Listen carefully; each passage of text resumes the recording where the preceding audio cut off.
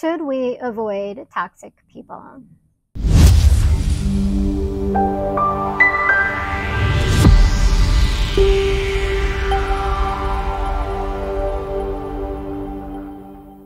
Hey guys, how you doing? Hope you're doing well. Jumping on to do a little uh, chat on um, avoiding toxic people. Um, so, is there really any toxic people? Well, it depends on your view. I know a lot of people may uh, struggle with that because when we're on the receiving end um, or being in the environment or the experience of having toxic people around us, it can very much depend on where we are in that moment, that expression of sharing in that experience with people around who are creating that situation right? And although they're creating it, we're a part of it. And so we are in the awareness of it, allowing that to happen to help us to see and view it from that point of view, which is a creation of itself from that point of view and the awareness that you are where you are. So, with that being said, the experience that we create is awareness of it. So we can be it.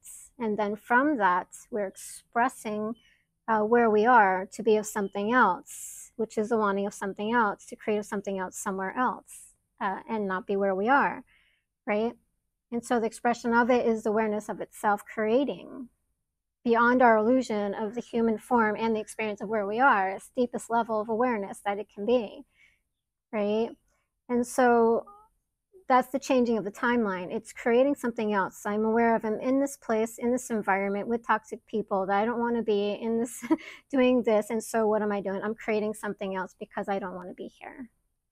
Or because of the situation, you're creating other things that's creating opportunities for other things to evolve and happen. This is not where I want to be, so I want to be there. So creating something else on the timeline right? And so to share an experience of where you are is not always that they're toxic people because those people are the ones that we agreed to come into alignment with to have that experience and sharing it with them, right? Because we have the soul agreements, right? They have their journey, they needed to work something out.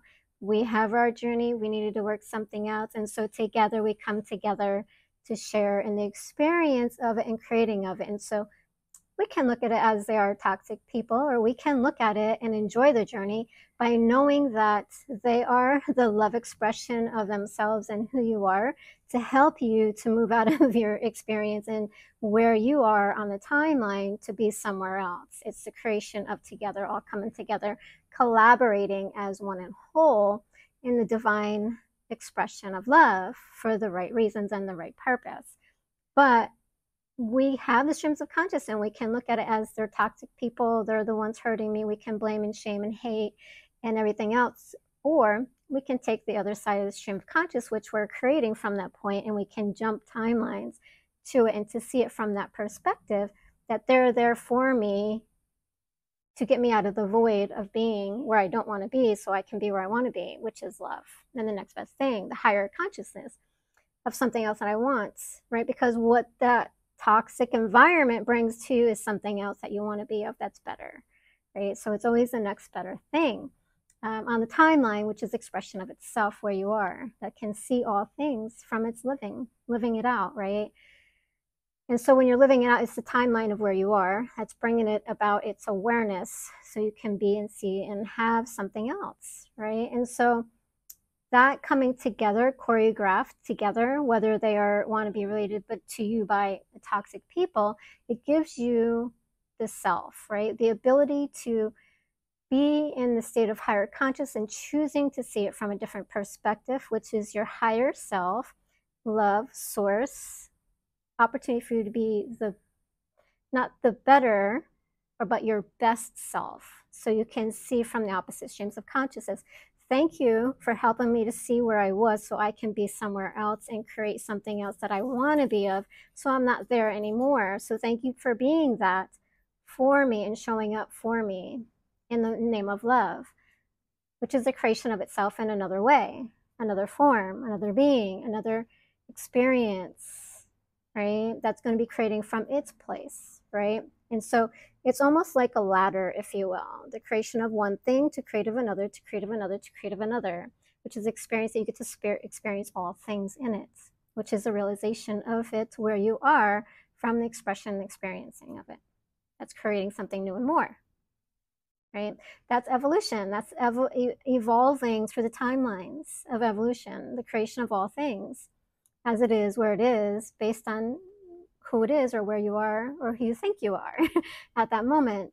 But it's experience. It's not who you are. It's not really true. It's just the experience that's showing up as true for you because that's where you believe that you are in that in that place right? Instead of in the name of love but it's all in the name of love because they're helping you right? Put it all together.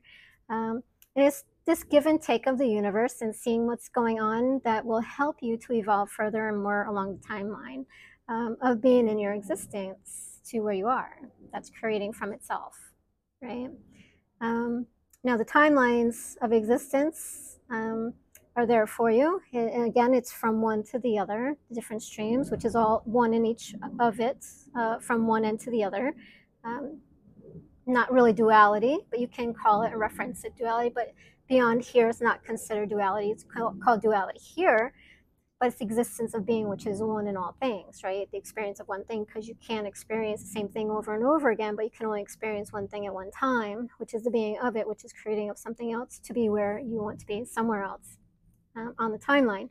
So your toxic friends, your environment is helping you to be your best version of yourself to say, hey, thank you from a space of love.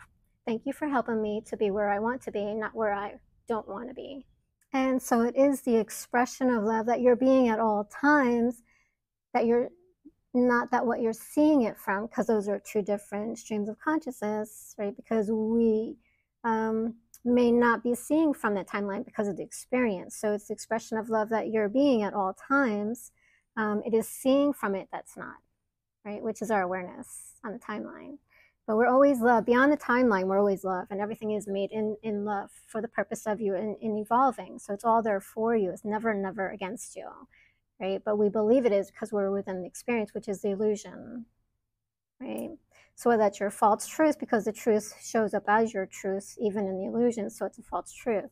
Right? And so it's the expression of love no matter where you are that's being. So choose love in all of your experiences to see from it from that point of view. Thank you for the experience. I love you. Hopefully that makes sense. Happy journeys.